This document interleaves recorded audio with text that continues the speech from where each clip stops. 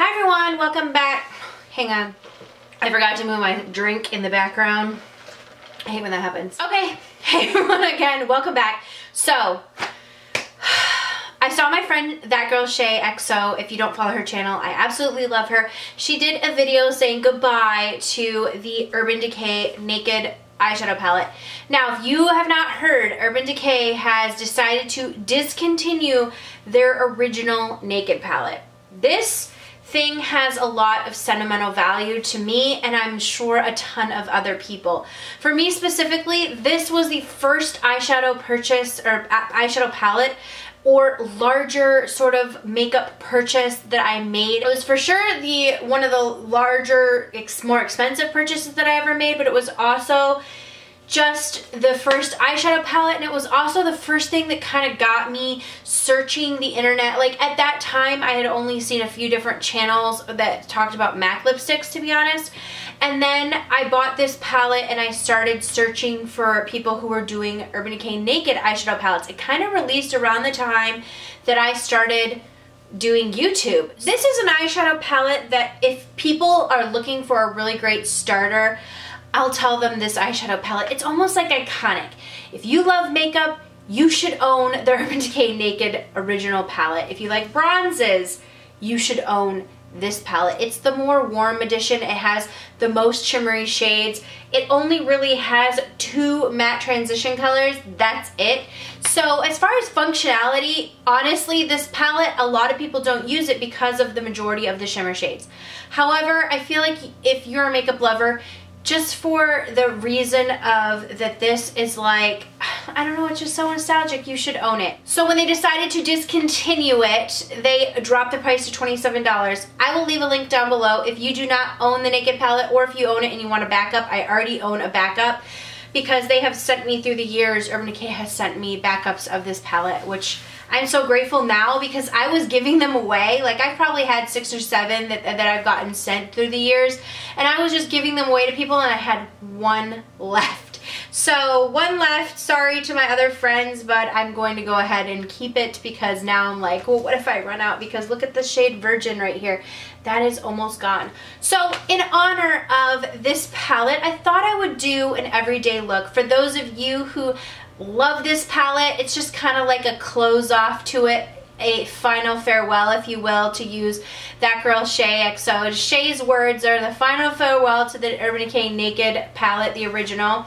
I'm sure they will come back in a, a year or two and be like, oh, look, we're bringing the palette back. And it's going to be like when Disney like re-releases the things out of the vault, everyone's going to go nuts. But for this Friday favorites, this is the original favorite, the thing that started it all. So I thought we would do a little bit of a throwback to the Naked Original palette. Maybe I'll go back all the way back to talking about my very first tutorial that I ever posted on this channel was with this eyeshadow palette. So if you're interested in that, hang on tight. If you purchased it because of the sale and you're looking for tutorials and you found this video, maybe. I mean, look at like, my palette is like so loved, so beaten up, it's falling apart. So let's just go ahead and get into it. If you're not subscribed to my channel, go ahead and subscribe before you go. And yeah, we're gonna get started. So I threw out an old CD player in my trash. And I've always wondered if like, if you are working for the, for the city, like if you, if you pick up trash, um, if, if you ever see treasures and you want to pick them up. And the CD player works, so I, I was hoping someone would take it, but the, but the guy who um, picks up the trash, he just took it and I'm like, yes, thank you. Because usually when I put my big trash out, like someone comes and picks it up. And I always wondered, like having that job, wouldn't that be awesome? Like you could see all the stuff that people were gonna throw away, and like if it was like a treasure to you, you could pick it up.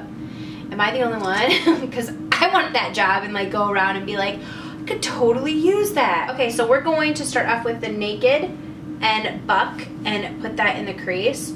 So my very first video that I ever filmed on YouTube was this palette using these this same combination right here. I think, I'm not sure exactly if I'm going to do the same look, but I remember putting Buck in my crease and talking about like what a good transition it was. And um, so this was back then and I was about to go to my friend's wedding she was getting married on that Saturday. I was like, you know what? I'm, my friend was going to come over and pick me up. And I was like, you know what? I'm going to go ahead and film this video really quick. I filmed it holding my iPhone. Like my iPhone was like this.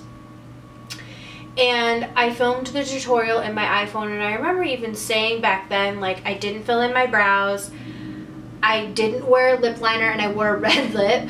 That tutorial is literally still up on my channel because I like to think if someone ever discovers it or I can go back and see how far I've come. Which sometimes some days I'm like, not very far. But anyways, I I love it because it's like it's this palette. It's the same palette and it was the the first video I chose to do.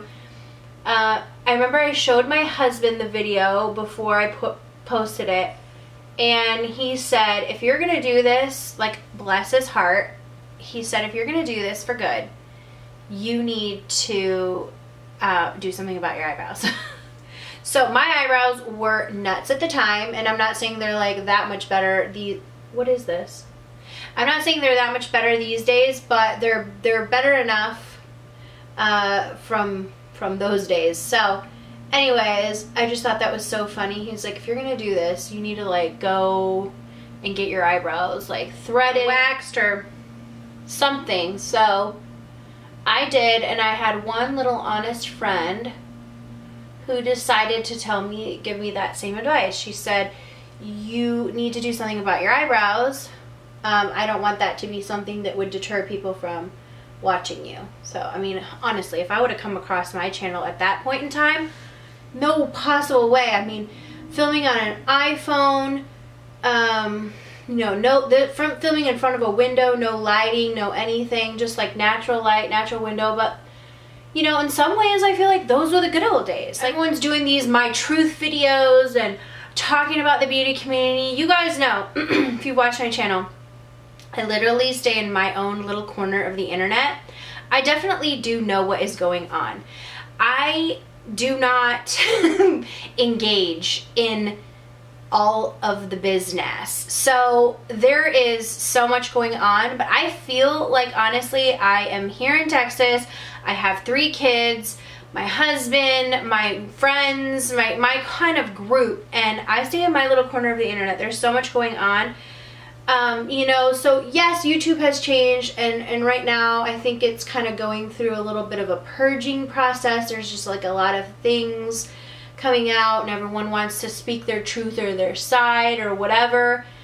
Uh, so YouTube has just changed. There's part of me that like is happy for some of the, the gradual growth and the progression. And there's some times that I'm like really sad. I'm really sad that that part, that era is kind of over where it's just like a girl in her bedroom which I'm still a girl in my bedroom doing my makeup with better lighting and a better camera.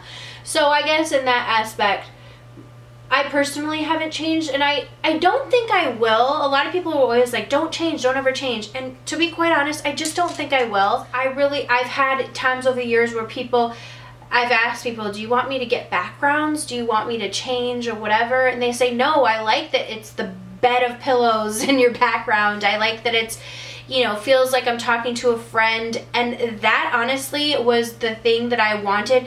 When I was connecting to YouTube, the people that I connect with are people who I literally felt like I was actually their friend. I hope that that is the vibe that you take when you leave my videos, is that you feel like, we are actually friends um, because we are a work community and that's why I started my channel. So I'm going into the shade Smog, which is this gorgeous, I love using this all over the lid, but I'm going to put it in my crease. Now it is a shimmery, like bronze, deep bronze shade, but I do like to, after I lay down with the matte, to kind of put this in the crease. It does add a lot of depth, but I just, I love this eyeshadow and I feel like anytime I use it and put it in the crease you wouldn't think it kind of like has like this gold shift when you put it in the crease.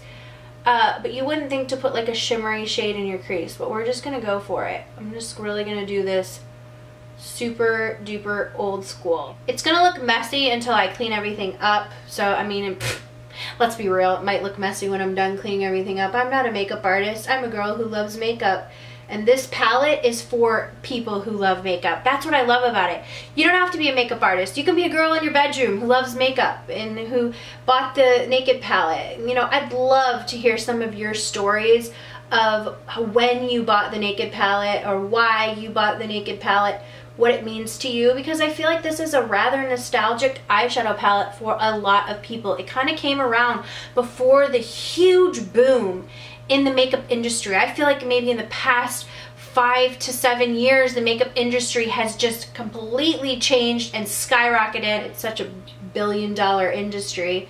Um, but I feel like this palette, honestly, was the start. When, when people think back to a palette of eyeshadows, at the time there weren't really palettes. There were single eyeshadows.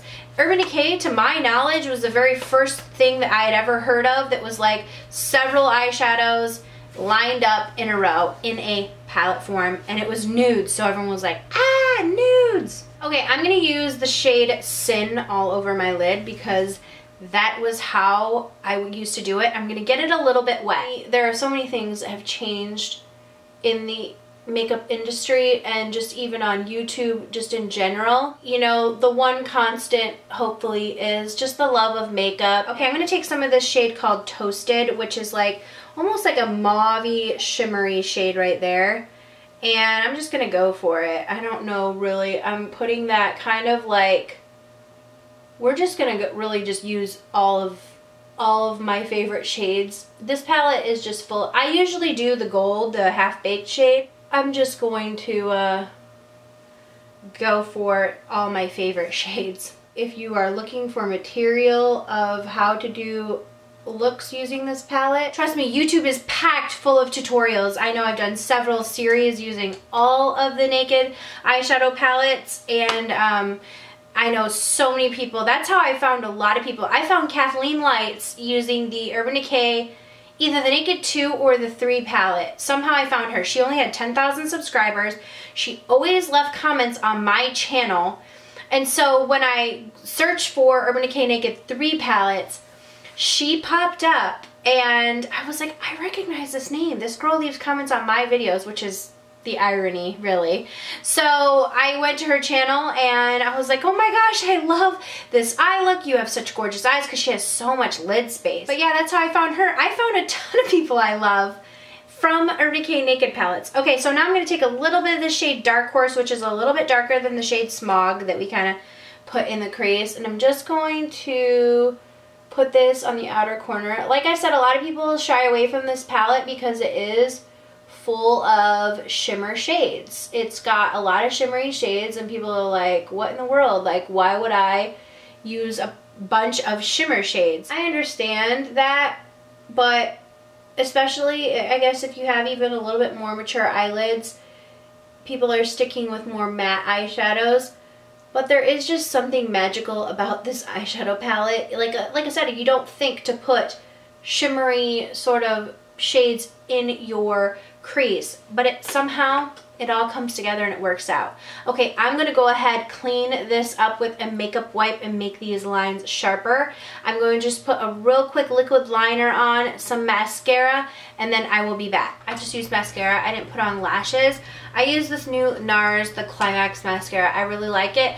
But back in the day, I wouldn't wear false lashes, and I really want to keep this kind of true to how I really loved the Naked palette and I felt like it was a great everyday palette for a lot of people and it's sometimes intimidating. I think when I first started watching YouTube and I saw people doing using the Naked palette, quite frankly, I was like oh, a wee bit intimidated by people using the Naked palette and thinking, oh man, they're wearing lashes, like I don't have lashes that, that I feel comfortable wearing. I thought I looked like foolish in lashes. I actually remember a video specifically.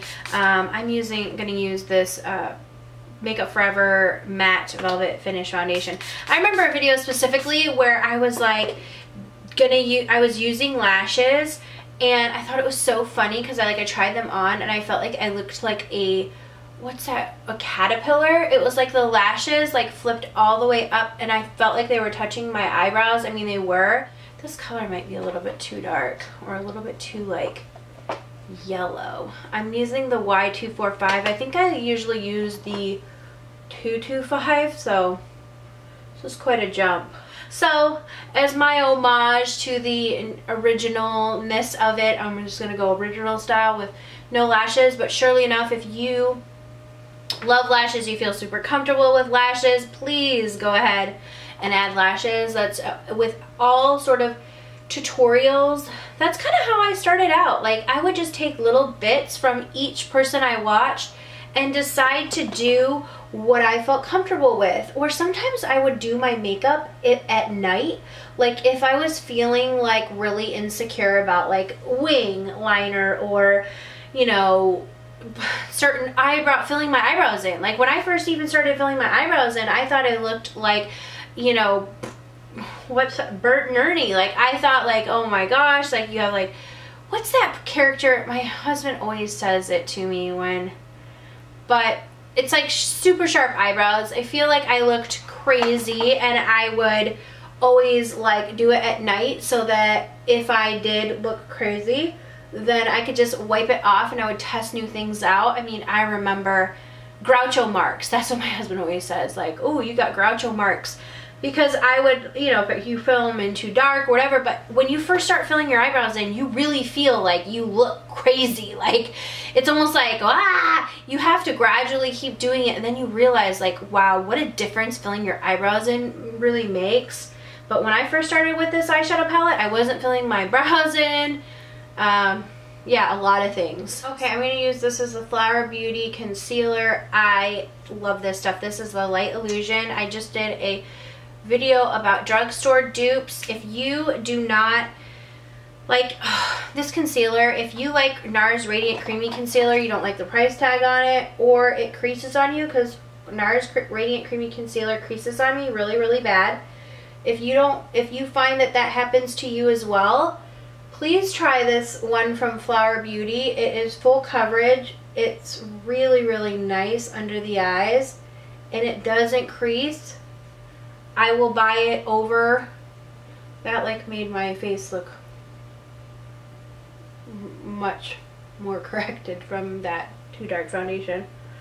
I will buy this over NARS Radiant Creamy Concealer all the time now just because I, I love it that much. Okay, bronzer, I'm using this one from Hourglass. Like a lot of brides, like the Urban Decay Naked One palette is like a lot of what a lot of brides used.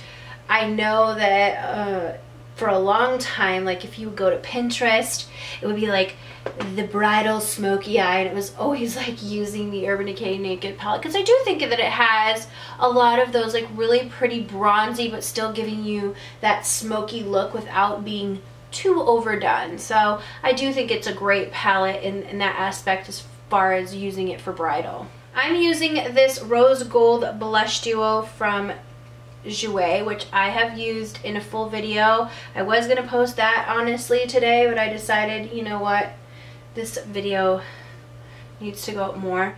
I'm going to use this MAC highlight. This is in Double Gleam. I had it in here from my recent video I was comparing it using a drugstore dupe that I love that I feel like dupes this highlighter so I'm just going to use it but I do have a drugstore dupe for that if you watch that video. I'm going to use Urban Decay's Fuel. I love this lipstick. I'm going to also use this Ultra Glossy Lip. This is in Wham from ColourPop. I'm just going to put that like right here in the center. Okay, back to the eyes. I'm going to use a white liner or any type of like nude liner that you have will work in the waterline. Okay, then for the lower lashes, I'm going to start out by taking Naked and Buck Again, what we put on our crease to start with as our transition. I'm just going to use this to buff out under the eye. I'm going to go into the shade Smog and we're going to wet our brush just a little bit just to bring out the more sort of like golden flecks that smog does have in it and I'm going to put that right under the eye I love this shade and doing that because you really get to see the bronziness of it. Okay, before we go in with some lower lash mascara, I'm going to go into the shade Virgin, which is the only one that I have hit pan on. Everything else is pretty dented well, but I've only hit pan on this. Again, I'm going to spray a little bit of like Fix Plus on that, and we're going to put Virgin in our inner corners. This is like a bright whitish shade. And I'm just going to put a touch of it like right here on the brow bone. Alright, I'm going to use a little bit of the lower lash mascara. This is MAC Giga Black Lash. This look is just something that is a go-to staple for me. I, honestly, I travel with this palette because I feel like it is something I can trust. I know I'm going to get what kind of look I'm going to get with it because I've used it so many times. I mean, the, the front is falling apart, but it's not that it's not a quality palette, it's just been through the ringer. It's been in every single travel bag and in so many favorites videos. I'm going to leave a link down below of my favorites playlist because I would like to call this the ultimate favorite.